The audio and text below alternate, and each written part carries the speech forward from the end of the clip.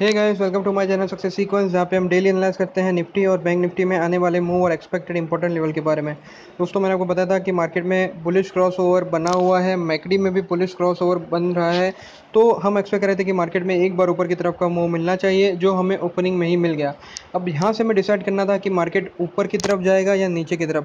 तो अगर आप देखें और क्लोजली ऑब्ज़र्व करें तो आपको दिख जाएगा कि मार्केट ने जो हाई बनाए हैं, वो प्रीवियसली रेजिस्टेंस का जोन रहा है। कैंडल में अगर आप देखें, यहाँ पर आपको दिख जाएगा वन टू एंड थ्री तो ये लेवल अपने को डेफिनेटली दिख रहा था कि यहाँ पे रेजिस्टेंस है और दूसरा मार्केट में अच्छा खासा मूव कल मिला था तो आज थोड़ी प्रॉफिट बुकिंग भी हम एक्सपेक्ट कर रहे थे।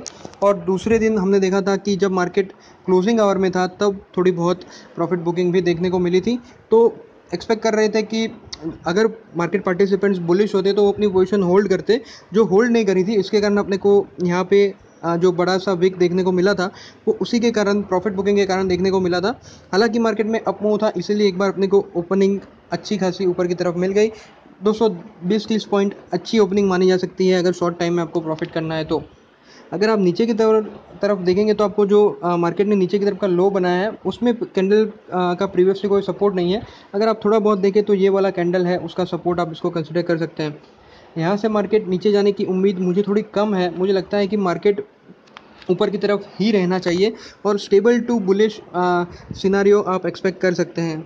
इन शॉर्ट मुझे लगता है कि मार्केट रेट मार्केट में रेंज बाउंड एक्टिविटी आपको देखने को मिल जाएगी। और अगर ऑप्शन एक्टिविटी रेंज देखें तो आपको उसमें भी वही रुझान देखने को मिल रहा है। दोस्तों, निफ्टी में जो ऑप्शन एक्टिविटी रेंज बन रही है, वो है 9500 से 9750 मतलब ऊपर की तरफ़ 100 पॉइंट और नीचे की तरफ़ 150 पॉइंट का रिस्क दिख रहा है तो रिस्क रिवार्ड रेशियो फ़िलहाल बुल्स के फेवर में नहीं दिख रहे। और अगर मैं कॉल और पुट की एक्टिविटी की बात करूँ तो दोस्तों, मुझे दिख रहा है कि नौ हज़ार पाँच सौ से लेकर नौ हज़ार छः सौ का जो लेवल है, उसमें कॉल लॉन्ग कवरिंग हुई है कॉल शॉर्ट कवरिंग हुई है और फर्दर कॉल लॉन्ग कवरिंग हुई है। मतलब नौ हज़ार पाँच सौ पे कॉल, नौ हज़ार पाँच सौ और नौ हज़ार छः सौ पे कॉल लॉन्ग कवर हुए हैं और नौ हज़ार पाँच सौ पचास पे कॉल शॉर्ट्स कवर हुए हैं। तो दोस्तों, अगर इसको हम पुट के साथ जोड़ के देखें तो पुट में भी यहाँ पे मुझे दिख रहा है कि मोस्टली पुट लॉन्ग कवर हुए हैं, जो भी एक पुलिस पोजिशन सजेस्ट करते हैं। तो मेरा मानना है कि 9550 का जो लेवल है और 9550 से लेके बल्कि 9600 का जो लेवल है वहाँ पे अभी सपोर्ट है ऑप्शन एक्टिविटी रेंज भी यही सजेस्ट कर रहा है। लेकिन प्रॉब्लम है 9650 9700 9750 का लेवल वहाँ पे कॉल राइटिंग हुई है। हालाँकि इतनी एग्रेसिव नहीं हुई है लेकिन कॉल राइटिंग हुई है। अगर मैं पुट की बात करूँ तो दोस्तों पुट में आ, मुझे दिख रहा है कि 9650 से लेकर 9750 के लेवल में आ, उस यहाँ इसी लेवल पे पुट राइटिंग हुई है, जो कि बुलिश सिनारियो सजेस्ट करता है। कॉल्स में कॉल राइटिंग हुई है और पुट में पुट राइटिंग हुई है। तो दोस्तों कॉल राइटिंग सजेस्ट करता है बेरिशनेस और पुट राइटिंग सजेस्ट करता है बुलिशनेस तो क्लियरली ये हमारे एनालिसिस के साथ मैच कर रहा है और मुझे लग रहा है कि आपको रेंज बाउंड मार्केट कल के लिए देखने को मिल सकता है, क्योंकि दोनों मार्केट में पार्टिसिपेंट्स एक दूसरे के अगेंस्ट में बिड करते दिख रहे हैं।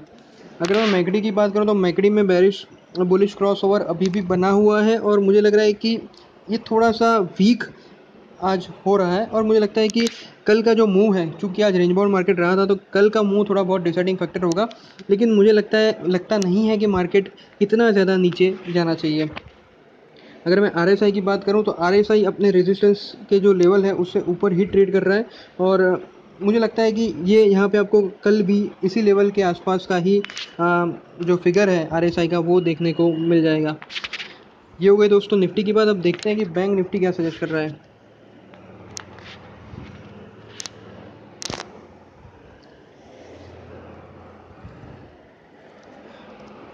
दोस्तों बैंक निफ्टी में जो ऑप्शन एक्टिविटी रेंज बनती दिख रही है, वो है तेईस हज़ार पाँच सौ से लेकर चौबीस हज़ार। मतलब ऊपर की तरफ़ तीन सौ पॉइंट और नीचे की तरफ़ दो सौ पॉइंट। दोस्तों, अगर आपने देखा हो तो बैंक निफ्टी में बहुत ही जल्दी इंडिकेशन मिल जाता है कि क्या होने वाला है। तो यहाँ पे दिख रहा है कि बुल्स के लिए रिस्क रिवार्ड सिचुएशन है, वो थोड़ी फेवरेबल दिख रही है। अगर आप देखें तो थ्रू आउट जो भी ऑप्शन एक्टिविटी रेंज है, उसमें कॉल राइटिंग हुई है। इतनी अग्रेसिव कॉल राइटिंग नहीं हुई है, लेकिन कॉल राइटिंग ज़रूर हुई है। और अगर मैं पुट की बात करूँ तो पुट में मुझे लग रहा है मुझे दिख रहा है कि जैसे सेकंड में रिफ्रेश कर देता हूँ। हाँ तीस हज़ार सात सौ से लेकर चौबीस हज़ार के लेवल पे फ्रेश बैरिश पोजीशन बनती दिख रही है। दोस्तों, जब मार्केट में कॉल राइटिंग होती है और फ्रेश बैरिश पोजिशन बनती है तो मोटा मोटा एनालिसिस ये रहता है कि मार्केट में एक थोड़ी बहुत नीचे की तरफ़ का रुख देखने को मिल सकता है डिपेंडिंग अपॉन की लेवल्स कहाँ पे है। तो दोस्तों, अगर हम देखें तो RSI जो है वो बुलिश क्रॉस ओवर सजेस्ट कर रहा है, लेकिन वो थोड़ा बहुत बिगड़ता हुआ दिख रहा है। यहाँ पे जस्ट सेकंड मैं आपको दिखा देता हूँ। आर में आपको दिख सकता है कि यहाँ पे जो रेजिस्टेंस है वो होल्ड होता हुआ दिख रहा है और आरएसआई के कारण आर एस के रेजिस्टेंस के कारण आज नीचे की तरफ़ आरएसआई में आपको जो लाइन है वो ड्रॉप होती हुई दिख रही है। मैकडी की बात करूँ, मैकडी में भी बुलिश क्रॉस ओवर पिकड़ता हुआ दिख रहा है। आगे की तरफ़ जो वाइट लाइन है वो थोड़ी नेगेटिव की तरफ़ जाती है आपको दिख रही है और रेड लाइन ऊपर की तरफ़ जा रही है। तो मोटा मोटा मुझे इसमें लग रहा है दोस्तों कि मार्केट में ये जो नीचे की तरफ़ का लेवल है, वो सपोर्ट रहेगा।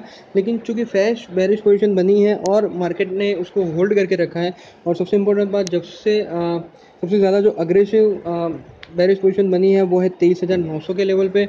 तो मुझे लग रहा है कि ये वाला लेवल थोड़ा डिफ़िकल्ट हो सकता है माउंट करने के लिए।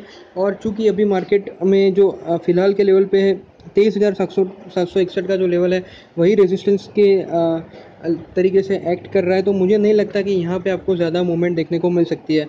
तो यहाँ पे भी हम रेंज बाउंड सिनारियो ही एक्सपेक्ट कर सकते हैं, लेकिन कॉल ऑप्शन जो कॉल ऑप्शन और जो ऑप्शन एक्टिविटी रेंज है, वो सजेस्ट कर रही है कि यहाँ पे स्टेबल टू बैरिश मूव आपको देखने को मिल सकता है। तो मुझे भी यही लग रहा है कि मार्केट कल रेंज बाउंड रहना चाहिए और हमारा जो व्यू रहेगा, वो रहेगा स्टेबल टू बैरिश तो दोस्तों ये हो गई निफ्टी और बैंक निफ्टी की बात। आ, अगर आप मेरे साथ व्हाट्सएप पे जुड़ना चाहें तो आप जुड़ सकते हैं। आ, हम आपको डेली जो की लेवल्स हैं वो देते हैं। आ, हम आपको ऑप्शन एक्टिविटी रेंज देते हैं। ऑप्शन एक्टिविटी रेंज के साथ आ, हर एक स्ट्राइक प्राइजेस पे क्या पोजीशन बनी है मतलब कॉल राइटिंग हुई है क्या हुई है जो मैं आपको वीडियो में बताता हूँ वो आप मैं मेरे रिपोर्ट में देख के चीज़ों को कंफर्म कर सकते हैं। मैंने बताया हुआ है कि रिपोर्ट को कैसे यूज़ करना है उसके लिए मैंने सेपरेट वीडियो बनाया अगर आप चाहें तो मैं आपको आई लिंक भी दे दूँगा।